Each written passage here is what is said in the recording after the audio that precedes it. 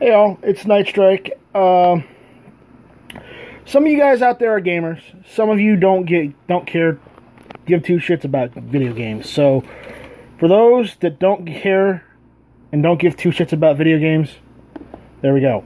There's a gun.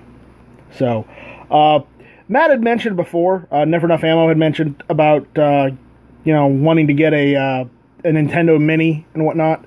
And since I'm pretty good with uh, computers, I figured I might document me just going and making a, a, a NES Mini myself. So, uh, you know, there's a gun, there's an NES Mini. Granted, this is the uh, the Raspberry Pi version, which I'm going to make myself, but you know, for those of you that wanted to see guns, there you go, there's gun. Anyways, move that out of the way. So, uh, what it is is it's a case for Raspberry Pi.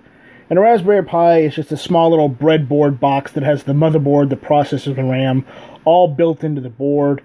It's you know about half the half, half the size of that, and uh, about probably I'd say about that thin. So I will try and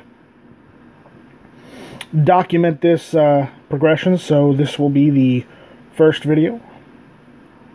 Uh, I will take it out of the box in the next video.